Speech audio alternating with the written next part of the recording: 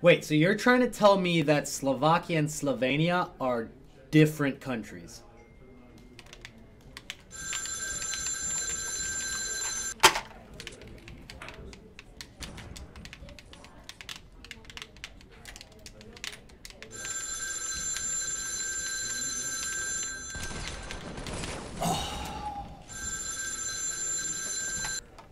What?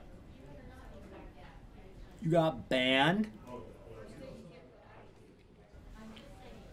Yeah, I'll, yeah, I'll be sure to help you out with that.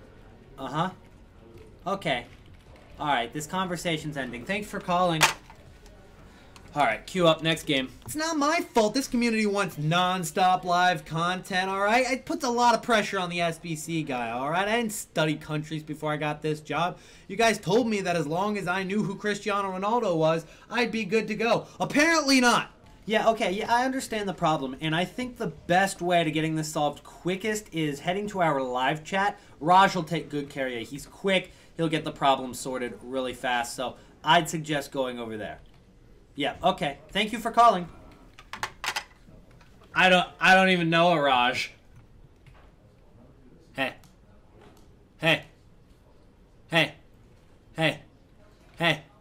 Hey. Hey. What, Clark? Like my new hat? Shut up, Clark. You literally do nothing. Like literally nothing. Okay. Yeah, shut up, Clark. Alright. I got you one too, by the way. Fuck Clark. Alright, okay.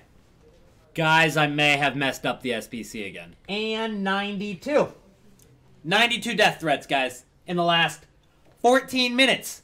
Can somebody do their job right? Because this one kid named Sensational Sane told me he'd eat my family alive. So can we get some work done here before my house gets burnt to the ground? Thank you, guys. Hey, Corey, at least you know it's not my fault. I'm not the guy who can't figure out how to make a squad building challenge. So what if I messed up three SBCs in two days? At least my wife didn't leave me, Clark.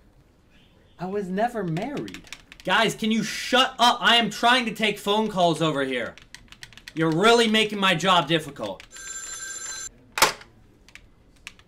Okay.